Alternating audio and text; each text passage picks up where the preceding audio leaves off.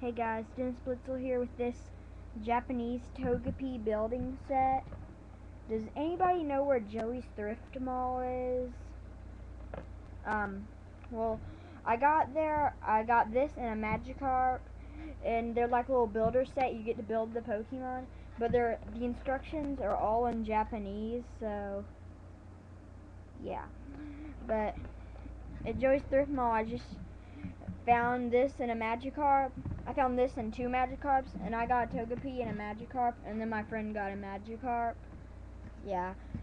They probably had some more, but we went there and they were all gone except for three. But, see, it's just the Japanese word and everything. It's a giant Togepi. Anyways, I'm just going to open this up here. Okay. Alright. Um,